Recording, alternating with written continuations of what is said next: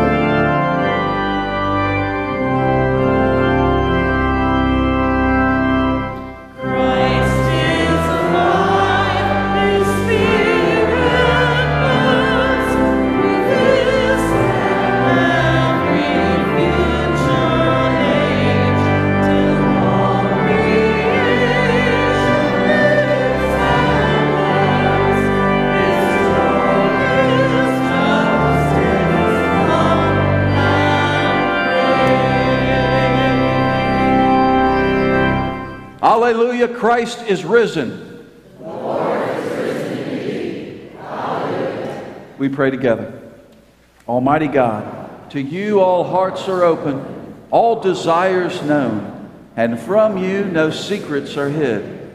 Cleanse the thoughts of our hearts by the inspiration of your Holy Spirit, that we may perfectly love you and worthily magnify your holy name through Christ our Lord. Amen.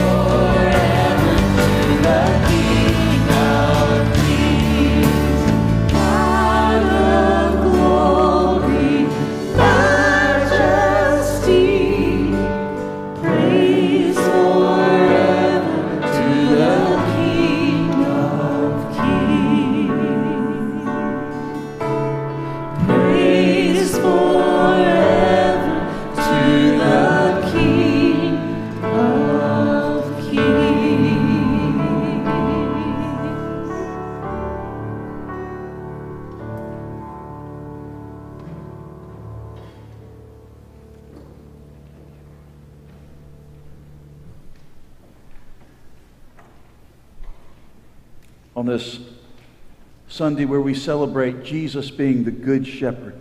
Would you pray with me? O God, whose Son, Jesus Christ, is the Good Shepherd of your people, grant that when we hear his voice, we may know him who calls us each by name and follow where he leads, who with you and the Holy Spirit lives and reigns one God, now and forever. Amen. Please be seated for the lesson.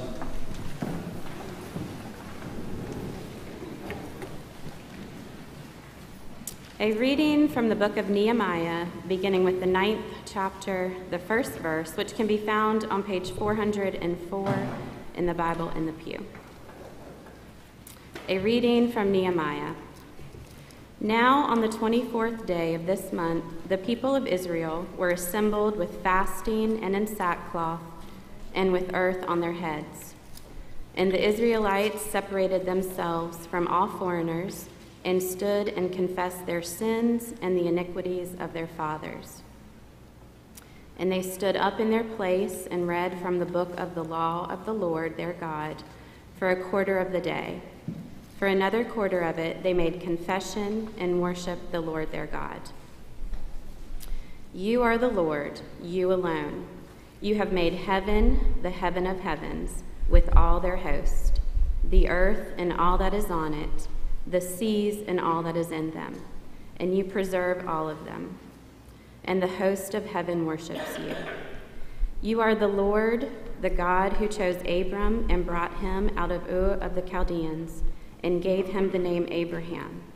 You found his heart faithful before you and made with him the covenant to give to his offspring the land of the Canaanite, the Hittite, the Amorite, the Perizzite, the Jebusite, and the Girgashite. And you have kept your promise, for you are righteous. And you saw the affliction of our fathers in Egypt and heard their cry at the Red Sea and performed signs and wonders against Pharaoh and all his servants and all the people of his land. For you knew that they acted arrogantly against our fathers. And you made a name for yourself as it is to this day. And you divided the sea before them, so that they went through the midst of the sea on dry land, and you cast their pursuers into the depths as a stone into mighty waters. By a pillar of cloud you led them in the day, and by a pillar of fire in the night to light them, to light for them the way in which they should go. You came down on Mount Sinai and spoke with them from heaven, and gave them right rules and true laws, good statutes and commandments. And you made known to them your holy Sabbath and commanded them commandments and statutes and a law by Moses your servant. You gave them bread from heaven for their hunger and brought water for them out of the rock for their thirst. And you told them to go in to possess the land that you had sworn to give them. The word of the Lord. Thanks be to God.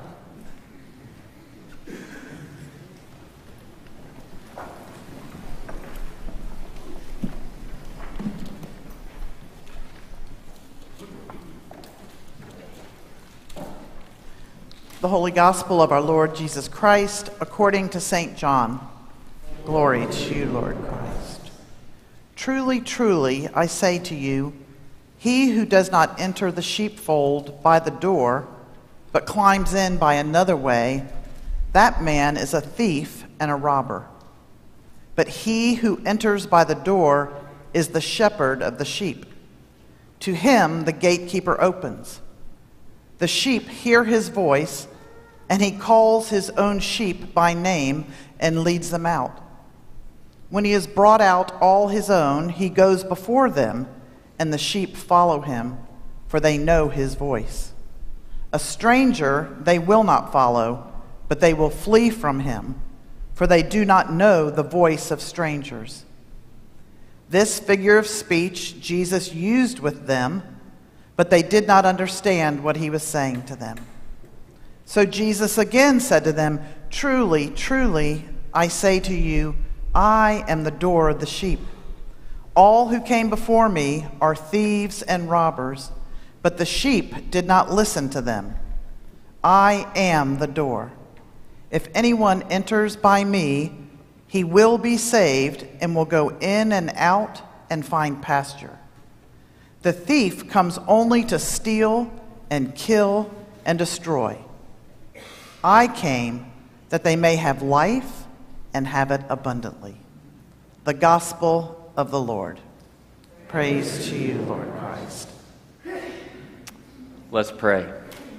Dear Heavenly Father, God, we just pray that your spirit would move among us. It would convict, it would encourage. We would hear from you. God, today we want to, as your word says, lift your son high because it's your son who draws men to him. Thank you for your word. Thank you for your revealed word that it can teach and instruct and encourage. In Jesus' name, amen.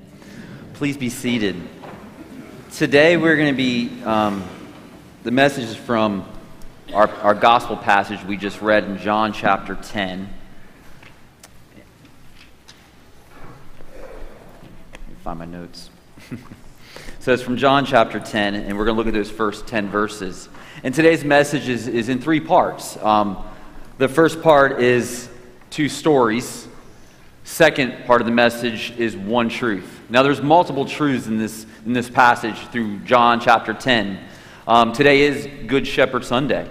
And, and so that's in there that Jesus is our good shepherd. He is who we follow. He is, takes care of his sheep, which is us. And so there is that theme of the good shepherd. Um, earlier, there was the theme in, in John of that he is the bread of life and the living water. But we're going to look at one truth. So, two stories, one truth.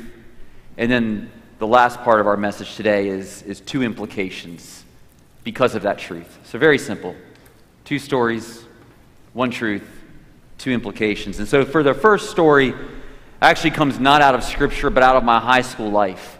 Um, I was involved in a very nerdy and geeky hobby in my high school years. And so I was involved in this hobby called antique bottle digging. And so uh, this, this gentleman in my community named Mr. Fleming took me under his wing, me and another friend, and and on Saturdays, he would pick us up and we would go to these old woods around Delaware, farm fields and woods, and we would look for old homesteads, 100, 150 year old homesteads that weren't there anymore, but would have a foundation, and then we would search around that area, usually about 100 yards from that homestead foundation, and we'd have these bottle probes because that they always have a trash pile 100, 150 years ago. And it would be about a foot or two feet under the ground, so we'd take little probes and try to find the glass, and then we would dig these bottles up. And that was my hobby during high school. And in fact, every few months we would go to an antique bottle show, and they have those things. And um, I'm not going to say this, but in a few months, Columbia is having their antique bottle show. And I may or may not be there. And so this was my hobby. And, and Mr. Fleming was a contractor. He was a home builder in Milford, Delaware. So everyone knew Mr. Fleming. And so we would get to these properties, and just like most fields of, and, and woods of private property, you would have barbed wire fence, you would have walls, you would have big signs that would say no trespassing, keep out, all these different things going on around the property. And to be honest, half the time when we'd sneak in there, I thought we had permission because Mr. Fleming knew everyone. So he would just nonchalantly go over to barbed wire or go beyond the signs that say no trespassing, and I felt very comfortable thinking that Mr. Fleming knows these people and we're supposed to be there and we're fine. But I'm going to be honest. On the other half, I knew we weren't supposed to be. Because those times that we'd go into those fields or woods, he would be like, keep it quiet. You know, he would, and we would go over the fence and go over the, through the trespassing. And more than one occasion, but one I really remember, was we were, we were in the woods. We probably weren't supposed to be there. And I hear Mr. Fleming go, He sees us. Get out. And across, like a couple hundred yards across the field, is an old farmhouse, and this guy's coming out of the field towards us. And so we get out of there, we jump the fence, get in the car, and drive off. Um, so you can say in high school, I was a juvenile delinquent um, because I antique bottle digged in somebody's yard or woods. Um, we, we were innocent. I mean, and generally, we weren't trying to disturb anything. But the gentleman in that farmhouse didn't know that. He sees a wall, barbed wire. He puts signs up, no trespassing. He didn't want people on his property. And when he sees from a distance three men jumping over a fence into his property that clearly says, no trespassing, keep out, all of that, he doesn't know what we're doing. You know, we could be poaching on his land. We could be trying to bury a dead body. We could be doing anything in his property. He just thought and suspected right and generally that we would be up to no good if we were there. And that's the first story. The second story is very sim- similar to that story, and it's found in John chapter 10. In those first six verses, because Jesus shares a story in the same realm of people being where they're not supposed to be of a man jumping over the fence. And so let me read this out loud in the first six verses. It says, Truly, truly, I say to you, he who does not enter the sheepfold by the door, but climbs in another way, that man is a thief and a robber. But he who enters the door is the shepherd of the, of the sheep. To him the gatekeeper opens. The sheep hear his voice, and he calls his own sheep by name, and he leads them out. When he has brought out all his own, he goes before them, and the sheep follow him, for they know his voice. A stranger they will not follow, but they will flee from him, for they did not know his voice of the stranger. And then in verse 6, this is a figure of speech Jesus was used with them, but they did not understand what he was saying to them. And so we see a very similar story of trespassing, going over the fence they're not supposed to be there. And we're going to talk about that story in just a second, the simplicity of that story. But before we get there, we have to answer the question found in verse 6 is who is they and who is them that Jesus is speaking to? The they and them is the same group of people as found in chapter 9. The they and them are the Pharisees. These are the religious leaders who thought they had the corner market on God. They thought if you lived by their rules, their systems, you would have your righteousness. And of course, the Pharisees say they have already attained that. They're living this self righteous life. And in the beginning of chapter 9, Jesus is walking through the town with his disciples, and sitting there in that town is there's this blind man. And everyone knows this blind man, that this man has been blind since birth. And the disciples decide to have a theological argument in front of this gentleman, which is sad. Because this man has been blind all of his life. This is his plot in life, and, and these, they're having a discussion. Who sinned that this man has been blind since birth? Was his mom? Was it his dad? Who sinned? And, and Jesus would not get in the woods or in the weeds with them. Instead, he sees compassion. And he heals the blind man and he brings his sight back, which is an amazing thing. But the issue is, is that Jesus did it on the Sabbath. And with the Pharisees and the religious and Jewish laws, that was a no, no. That made the Pharisees mad. How could Jesus do this miraculous event for this blind man on the Sabbath? He's breaking the laws, he's breaking our code. And they were infuriated with Christ for doing this. And then halfway through chapter 9, Jesus changes the illustration from physical blindness to spiritual blindness. And he shares with his followers and the people around, he says, When I came to this world and I spoke truth, those that say they could see, these Pharisees, the more I share truth, the more they become blind because of the hardness of their heart and their own pride and their position the more I speak, they say they can see, but the more they become blind. And he says in the reverse those who knew they were blind, those who knew they were without hope, those who knew they needed a rescue, the, Jesus says, the more I spoke, the more I opened their eyes to the truth. And then in verse 40 and 41, as the Pharisees are listening into this, here's what happens. Some of the Pharisees near him heard these things and said to him, are we also blind? And Jesus said, If you were blind, you would have no guilt. But now that you say you see, your guilt remains. And then he moves into that story of the sheep pen. And it wasn't a spiritual story at first, it was just a story that's just from everyday life in their culture. And he's telling the Pharisees, you walk around the countryside and you see this this wall that holds all the sheep in.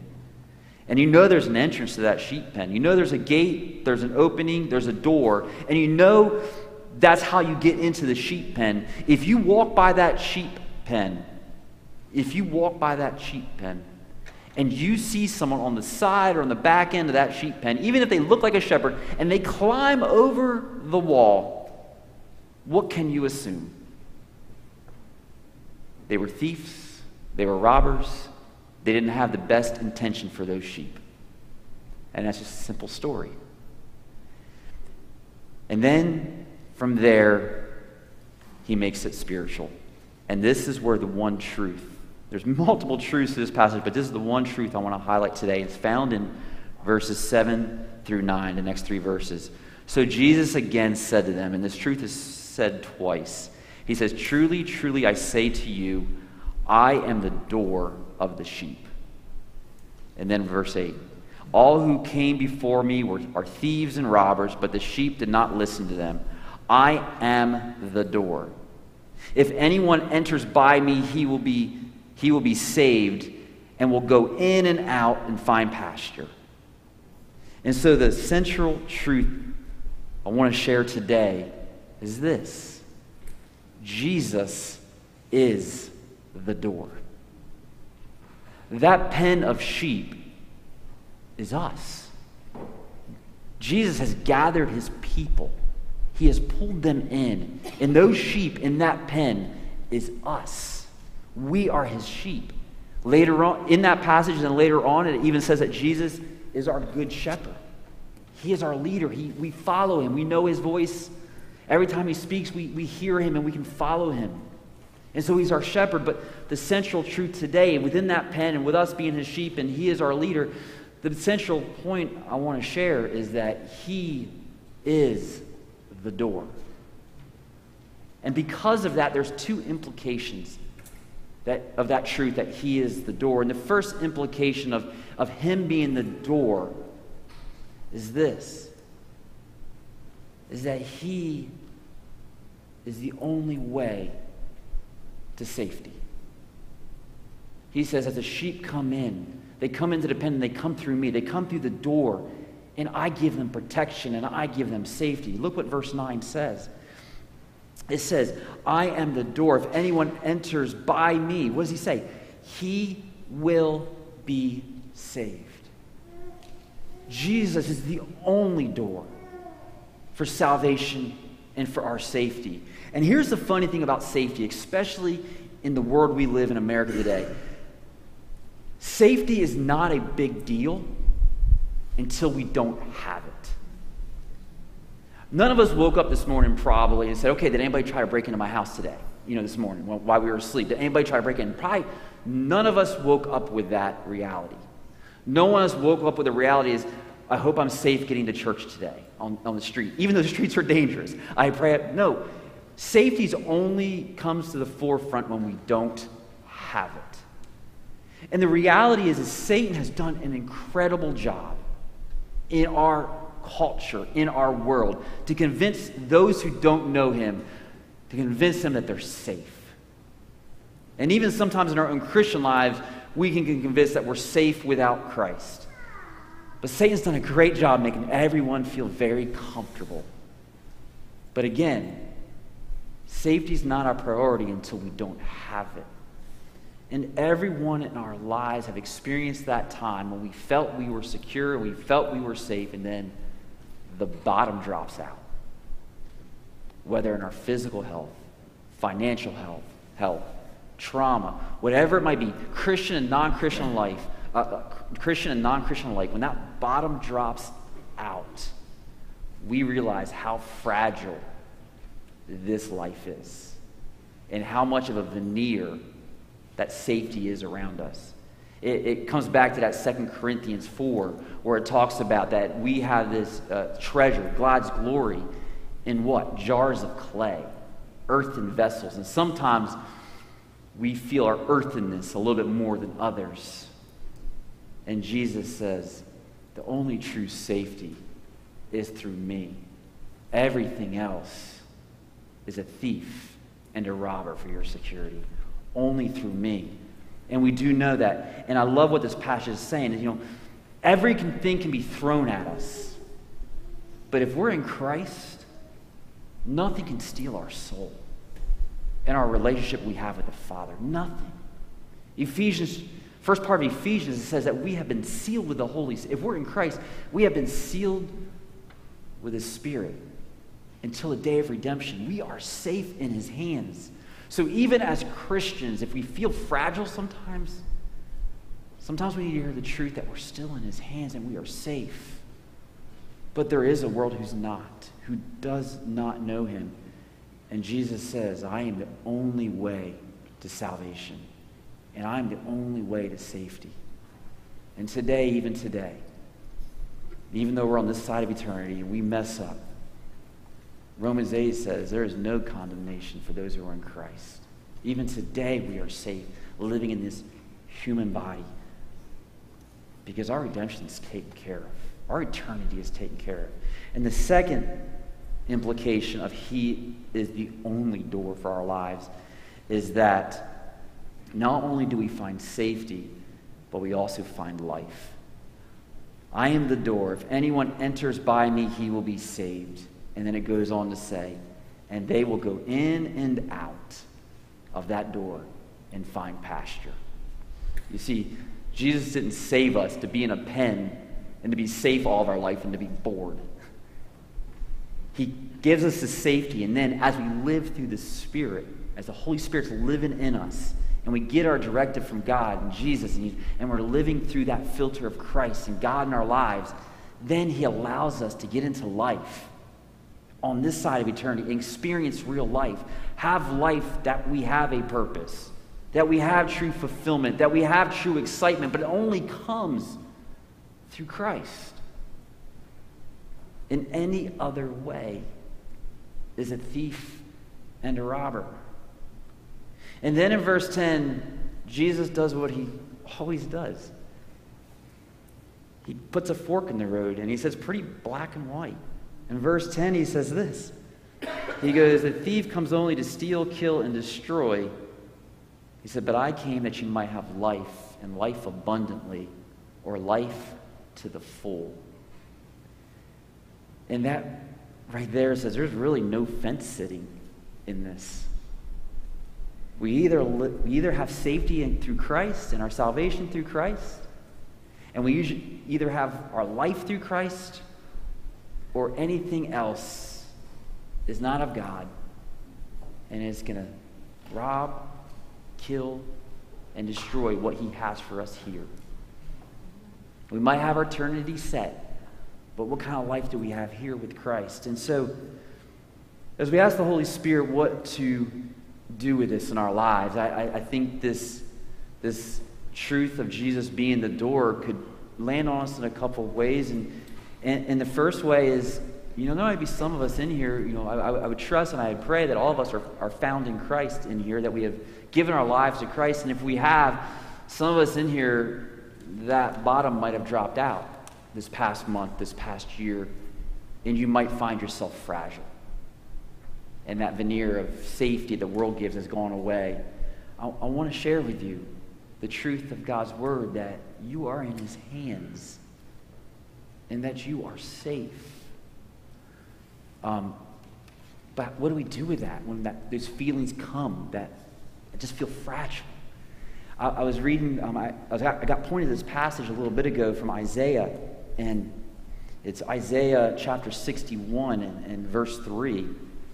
It says, uh, To grant those who mourn in Zion, um, to give them a beautiful headdress instead of ashes the oil of gladness instead of mourning. And, and this is the part that really kind of stuck out to me. The garment of praise instead of ashes, and the oil of uh, garment of praise instead of ashes. The, I, I'm lost my spot. The garment of praise instead of a faint spirit, that they may be called the oaks of righteousness. The garment of praise instead of a faint spirit that they may be called oaks of righteousness. You know, we know the truth that we are secure and we're safe in God's hands. But when we have that fragile as Christian feelings come across, what do we do with that? And I think this passage tells us lift your eyes to Him and give Him praise and worship, give Him thanks. I, I love how it says it's the garment of praise, it's a coat of praise, it comes over us. When I was a little kid for a couple years, I lived in Rochester, New York, and my mom would bundle us up in the middle of winter And we did have to walk uphill both ways for the school. And we would go and it would be snowing and it would be negative 30 out. And my mom, it would be freezing out, and we would walk up to this to our school at Gananda, and my mom would put me and my sister, she put this big coat around us. And when we went outside, we didn't feel that negative 30 degrees, whatever it was outside, because we had that big coat around us. But did that big coat change the temperature outside? It didn't. It just changed us. And when we're walking through some fragile times. I think the, the, the word points us to Christ. It says, how, give him worship. Remember the good things he has done. In Nehemiah, we just read that. And, you know, they're coming, the, the Israelites are coming back to God, and they're reciting their history. And if you hear their history of every time God stepped in with his faithfulness and just took care of them, the way we feel our security in Christ, it's already there. The way we feel our security in Christ is, is bring him back, to, go, go back to praise on him. Re- recite the good things he has done. That's where the code of praise comes on. And that's where we find our security is in that presence, in that relationship. And then lastly, what can we do with this? For some of us, by all of us, there is times that we let others, things, ideas jump over the fence. And in verse, chap, verse 10, it says, Anybody who does not go through that gate is a thief, a robber, a killer. And for some of us, and probably all of us, there's things in our lives saying, God, I gotta let, I gotta stop letting that thing get over the fence. Everything needs to come through your, through you, through your door, through your, through your gate, through your entry. Let that be in our lives. Let's pray. Dear Heavenly Father God, we thank you for your word. We thank you for how clear it is. God, thank you that you're not a cosmic cop, but you're our shepherd. You take care of us. You lead us. We want to give up and just follow and experience that abundant life that you always promise through your scriptures. In Jesus' name, amen.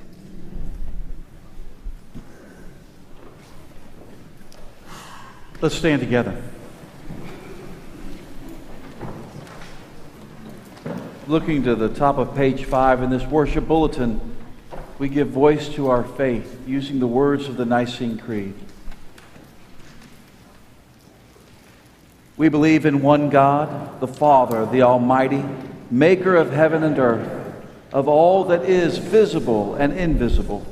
We believe in one Lord Jesus Christ, the only begotten Son of God, eternally begotten of the Father, God from God, light from light, true God from true God, begotten, not made, of one being with the Father. Through him all things were made.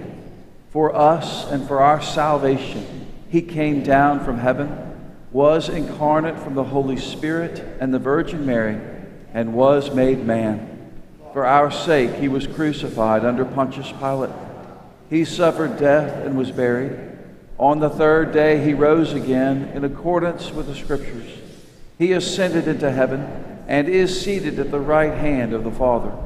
He will come again in glory to judge the living and the dead, and his kingdom will have no end.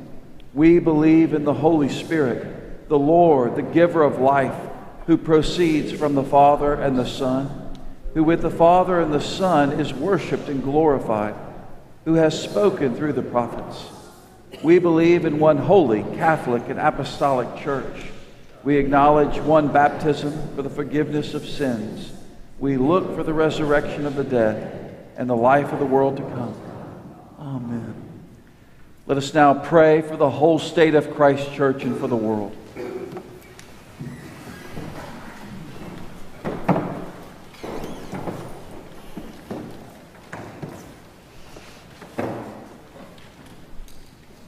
Lord God, we worship you and we exalt your holy name. We thank you for you are a good, good Father. And we thank you for your Son, Jesus Christ, who is our good shepherd. Open our ears to be able to hear his voice and desire to follow. For his voice will guide us, His voice will teach us, and His voice will remind us who we are in you. Lord God, we lift up your church here and throughout the world, that she would be a beacon of hope and healing to those who do not yet know you. We pray for the leaders of the church, remembering today our Archbishop Foley, our bishops Steve and David, for our clergy, for Rob, Skip, Thad, and myself, that we would be continued to be found faithful. We thank you for those who serve on our vestry and our staff and those who disciple our children, that you would bless them and grant them wisdom in their duties.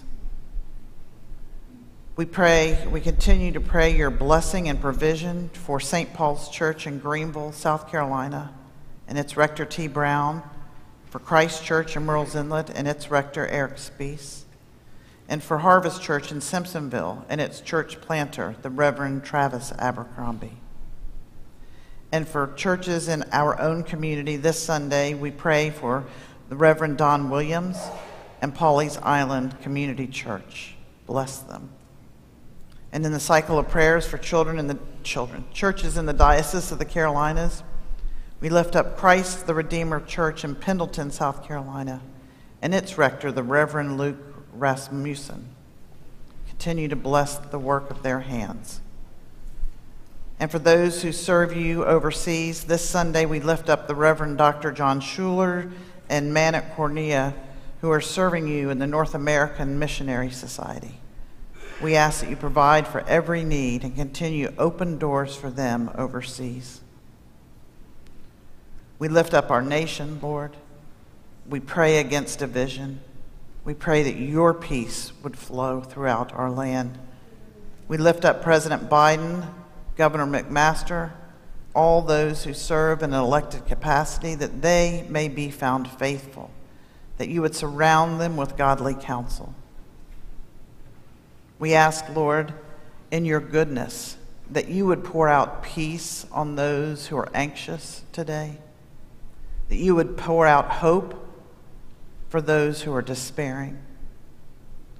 I ask that you would pour out healing for those who are suffering in mind, body, or spirit, and that you would pour out provision for those who are fragile financially. We thank you, Lord, that you do provide manna from heaven that you know each person's name and their individual needs. And Lord God, we thank you for the multitude of blessings that we have experienced from your hand this week. May we grow in lifting up our praises and gratitude so that that garment will fall down and be wrapped around us as a mantle. Thank you, Lord, for keeping us safe through your Son, Jesus Christ, that through him we may go in and out and live life abundantly as you have provided and prepared for us before the foundation of the world. And we ask all of these things in Jesus' name and for his sake. Amen. Let us now confess our sin to a loving God. Most merciful God we confess that we have sinned against you in thought, word, and deed, by what we have done and by what we have left undone. We have not loved you with our whole heart. We have not loved our neighbors as ourselves. We are truly sorry, and we humbly repent. For the sake of your Son, Jesus Christ, have mercy on us and forgive us, that we may delight in your will and walk in your ways to the glory of your name. Almighty God, have mercy upon you, pardon and deliver you from all your sin, confirm and strengthen you in all goodness, and by the power of the Holy Spirit, keep you in eternal life. Amen. Let's stand together. Greet one another. The peace of the Lord be always with you.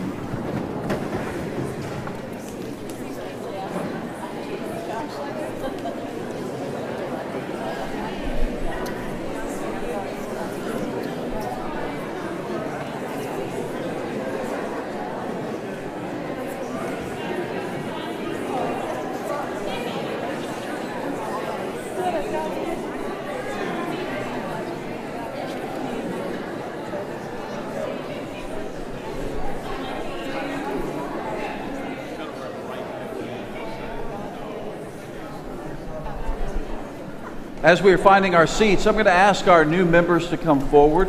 We are receiving a fresh group of new members. Come on up and line up in the front facing the church family, if you will. And I want to remind folks uh, come on up and make your way. We've had members join us throughout the morning, um, just, just so we all know and we're keeping track. We had Martha Williams at 7:45. At 9 o'clock, Jake and Jessica Bauer, Anna and Clayton Burrows, Amy and Scott D'Angelo, Val and Will Duke, Don and Bernie Durden, Annette and Dennis Hudak, John and Shannon Hungerford, Will and Dee Jowers, Catherine Kidder, Megan and Todd Leventis, Tom Putney, Betty Scheid, Sue and Wally Zidun. And here at 10:30 we have Mike and Rebecca Blanton, Faithful Du Bois, Christy Ellison, Brian and Sassy Henry, Hal and Melba Riddle, and David and Paula Canine. And we can say thank you, Lord, for blessing us so richly. And y'all, y'all have your uh, covenant responses. And church family, you have yours as well. It's a service insert, it's a little sheet of paper there. One side has reception and blessing, the other side has relational covenant. They're both important. But look to the reception and blessing side, if you will. You have a role to play. All right, guys. Have you turned to Jesus Christ and accepted him as your Savior?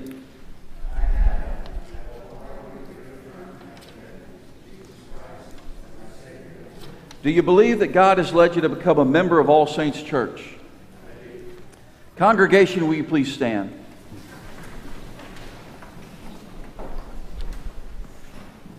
Will you, the congregation, support these persons through prayer and love as we make our common witness to our Lord? We will. Let us all join together and pledge our support to the purpose and vision of All Saints Church together. We choose to be lifelong learners of Jesus Christ, so thoroughly yoked with Christ in the power of the Holy Spirit that we live like Jesus lived and love like Jesus loves while helping others do the same. At this point, Beth will gather up the, uh, the covenant little sheets that have been signed saying, We're all in, count us in. While she's doing that, if you would look down to the bottom of this reception sheet, Church family, let us welcome our new members. We receive you as members of this church. We welcome you into the fellowship of this body and support you in your walk with Christ. We say thank you, Lord. Y'all may be seated. Thank you. Good to have you with us. Thank you, Lord. Y'all, please be seated. I want to take a moment because I didn't get to preach this morning, and I have a whole lot of words, just a whole lot of. But that relational covenant piece, this is significant, isn't it? And for those of you who weren't with us with the kerfuffle, as I call it, the church split, split I referenced earlier, we, um, we adopted this statement kind of in the middle of that painful season. We realized we weren't fighting well. And there is a right way to disagree. Church, will we have conflict? Yes, we will, because we are a church family. Is there a right way to walk through conflict? There is. The Lord knows us. In His holy word, He has told us exactly how we are to disagree with one another. So if you look at this relational sheet real quick, pursue reconciliation in my conflict with others, seeking and offering forgiveness, and whenever possible, resolving the issues that caused our conflict. There's scripture to back that up. How about number two, practice forbearance, overlook minor offenses. Three, talk directly to each other, not about each other. How about four, edifying, uh, be edifying in our discussions about other people, avoiding demonizing, avoiding slander, gossip, besmirching, talking people down, doing what we do from time to time. There's no room for that. How about five? Well, we know we're not going to keep this completely and totally. We're going to fall, we're going to stumble. So we help each other out. hold each other accountable. If we violate our commitment to this relational covenant, we can say things like, hey, huh, let's just be quiet. We've, we've gone down a bad trail here. We're better than this. Let's bless. Let's encourage. This is important. Stick it in your Bible, put it on your fridge. Let it be something that you refer to from time to time. Let it be said of us, the church in this community. See how they love one another? See how they bless one another? All right, we're about to move to the Lord's table. What a privilege to gather at his table. We come not as religious people doing religious things.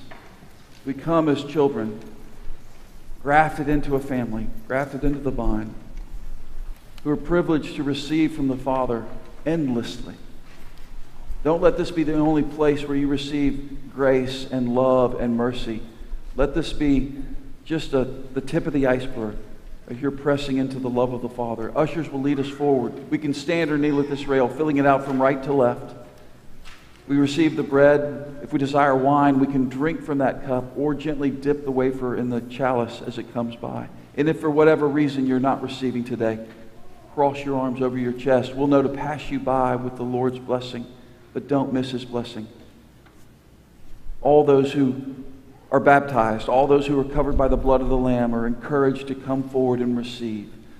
We walk in love as Christ loved us and gave himself for us, an offering and a sacrifice to God.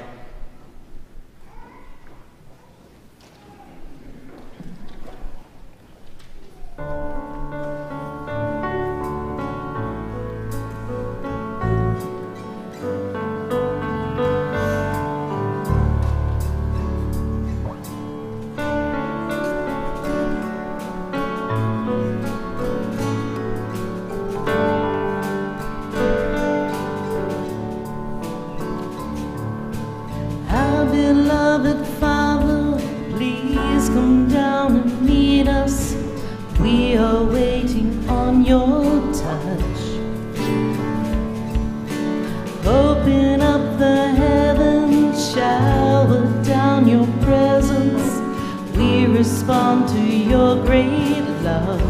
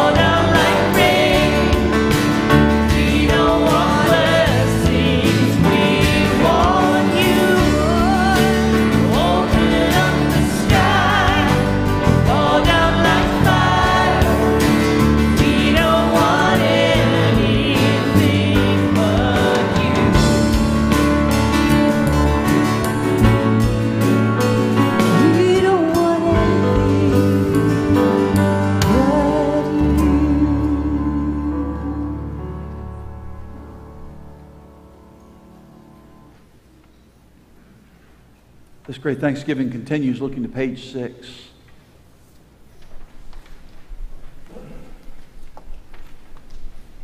The Lord be with you. Lift up your hearts. Let us give thanks to the Lord our God.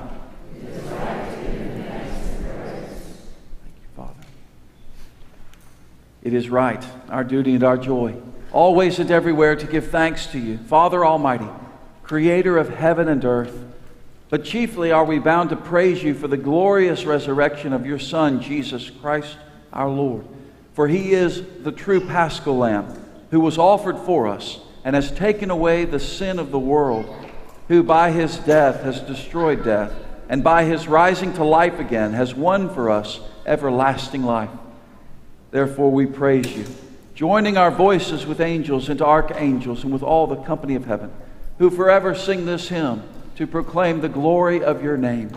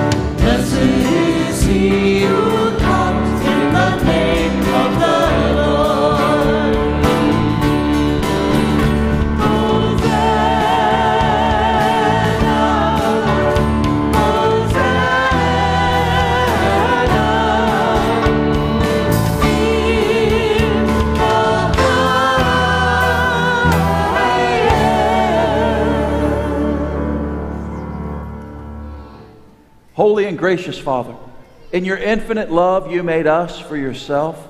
And when we had sinned against you and become subject to evil and death, you, in your mercy, sent your only Son, Jesus Christ, into the world for our salvation. By the Holy Spirit and the Virgin Mary, he became flesh and dwelt among us. In obedience to your will, he stretched out his arms upon the cross and offered himself once for all, that by his suffering and death we might be saved. By his resurrection, he broke the bonds of death, trampling hell and Satan under his feet. As our great high priest, he ascended to your right hand in glory, that we might come with confidence before the throne of grace. For on the night in which he was betrayed, our Lord Jesus Christ took bread, and when he had given thanks to you, he broke it, gave it to his disciples, saying, Take, eat.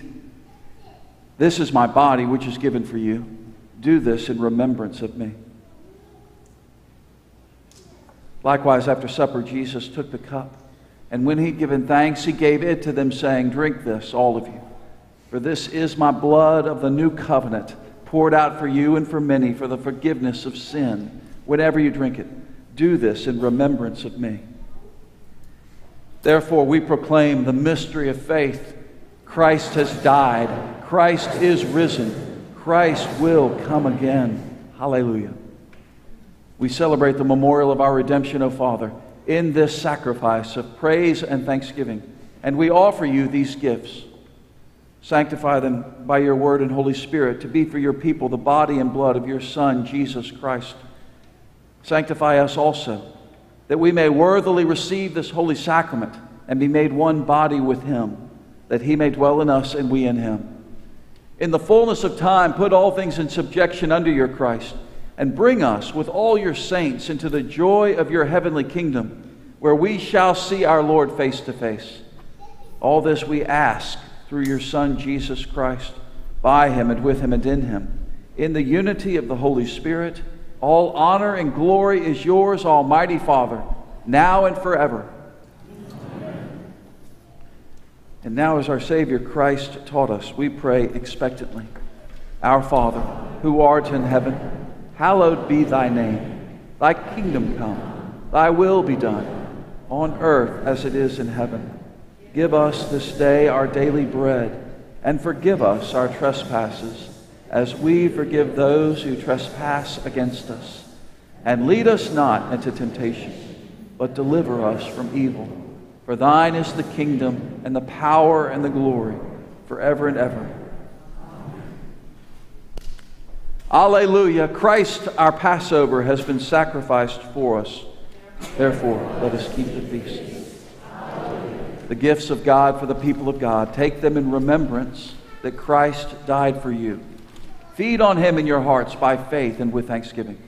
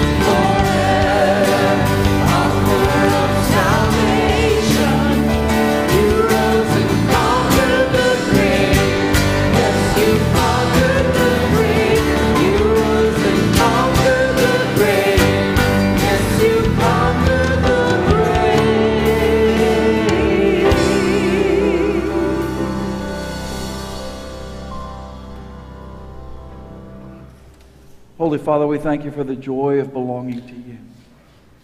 We thank you for the joy of knowing your name and resting in you. We thank you for your nearness. We thank you that you feed us well. Praying together. Heavenly Father, we thank you for feeding us with the spiritual food of the most precious body and blood of your Son, our Savior, Jesus Christ, and for assuring us in these holy mysteries that we are living members of the body of your Son and heirs of your eternal kingdom. And now, Father, send us out to do the work you have given us to do, to love and serve you as faithful witnesses of Christ our Lord. To him, to you, and to the Holy Spirit be all honor and glory, now and forever. Amen. And now to him who is able to do immeasurably more than all we could ever ask or imagine, according to his power that is at work within us. To him be glory in the church and in Christ Jesus throughout all generations. And the blessing of God Almighty, the Father, the Son, and the Holy Spirit be upon you and remain with you always. Amen.